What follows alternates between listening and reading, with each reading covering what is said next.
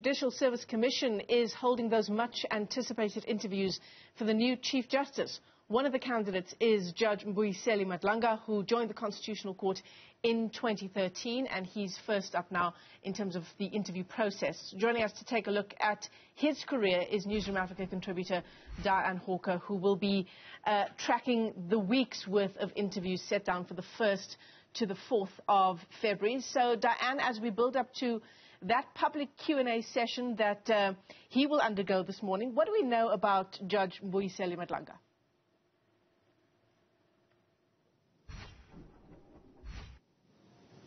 Good morning, uh, Michelle. So Judge Madlanga is uh, quite a, a, young judge in terms of, uh, you know, judges' years. A lot of judges um, at that level are over 60. He's only 59 years old, um, and he joined the Constitutional Court, as you mentioned, in 2013. His career trajectory was quite interesting. He, he obviously studied um, law at, at, various levels um, in, the, in, the, in the former Transkei, um, and he also actually went on to lecture law at uh, the University of of Transkei. Um, and then later on, he, he, he, became a prosecutor working in the form of Transkei before uh, going on to become a judge in the Eastern Cape.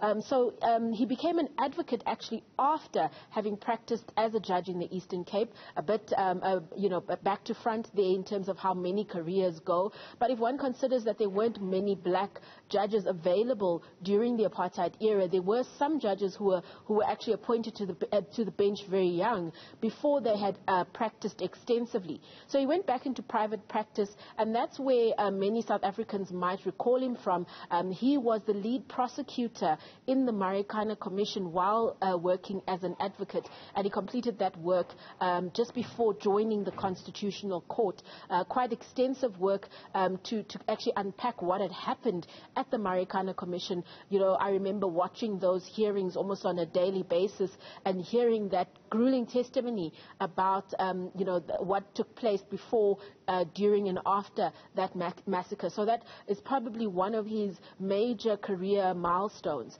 Um, but also joining the Constitutional Court, he has delivered. Um, some important judgments. One of the judgments actually will, will kind of give, gives instruction to this very body that will be looking at his career today. Um, there's a judgment that he did relating to the work of the Judicial Service Commission, indicating that the deliberations that they have when deciding on candidates must be included in the record that they actually submit um, to the president. And part of the reason for this is actually because sometimes, obviously, we know these decisions do get challenged at a later stage, um, and the deliberations have in the past actually come into question. Michelle.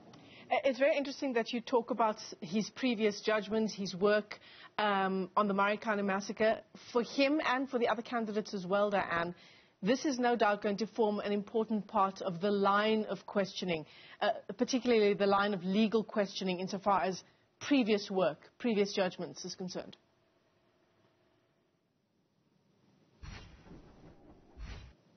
Yes, absolutely, Michelle. Um, you know, with uh, the, the, Chief Justice position, um, it's, it's, it's kind of twofold in that there will definitely be quite a focus on previous work done, but there's also likely to be a focus on administrative ability because of the, the, the, the kind of job that the, being the Chief Justice is.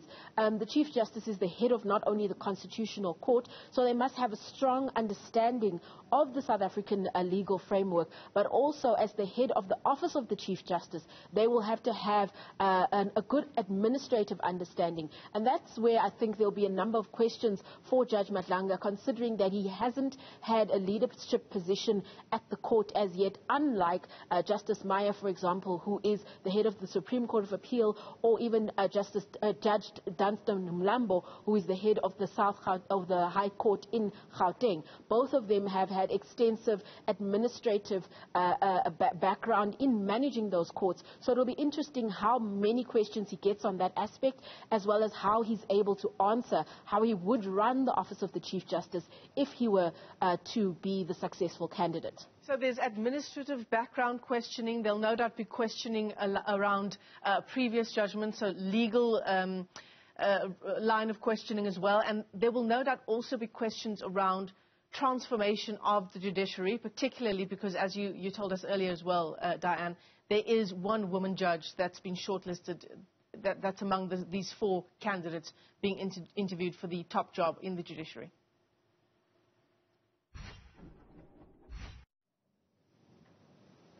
Yes, absolutely. The transformation of the judiciary has been uh, sort of a constant issue um, that the Judicial Service Commission has been looking at. Um, and it often comes up um, on, a, on, a, perspective of, of the race of judges, but also when it comes to gender. You know, South Africa has not had um, a, a, a, Chief Justice who is a woman. Um, I think the most senior woman judge at this point is Justice Maya, who is expected to be interviewed tomorrow. So there are likely also to be questions about why a, a male male judge should be chosen over quite a senior female judge who has work, who has experience um, as a jurist as well as experience um, as, a, as, a, as a court administrator. I think one of the other issues that's also likely to come up, uh, which we touched on yesterday, is how much time the likely candidate could spend on the, on, as the Chief Justice. Uh, Judge Madlanga has been at the Constitutional Court already for several years, and there's a 12-year term limit. So the question would be, um, would it make sense to have someone uh, take up that uh, top job um, only to serve for two and a half years or so in that top position or, or for a very short period. Um, that would also likely be a consideration when it comes to acting Chief Justice Raymond Zondo, who will be interviewed on Friday.